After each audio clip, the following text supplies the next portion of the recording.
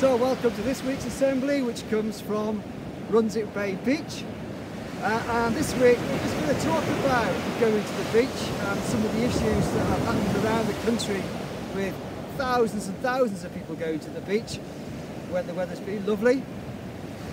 And basically the theme of the assembly really is responsibility and being responsible.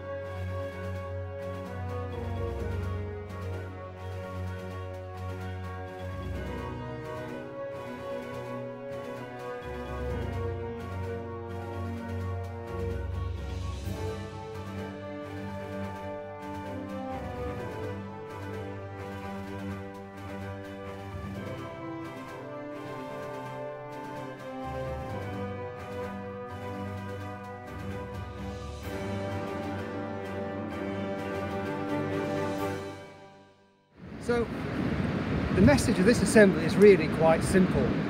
It's uh, use your noggin, your nous, your gumption.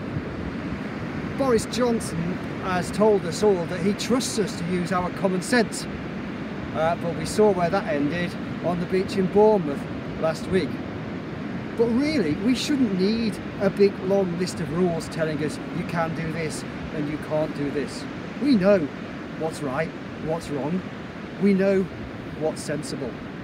And the same will apply to that when we get back to Eskdale. We don't need a big long list of do's and don'ts and school rules.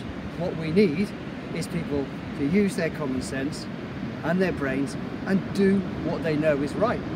And just be responsible, look after each other, take care of each other. That's the world we need to see post-COVID after this crisis.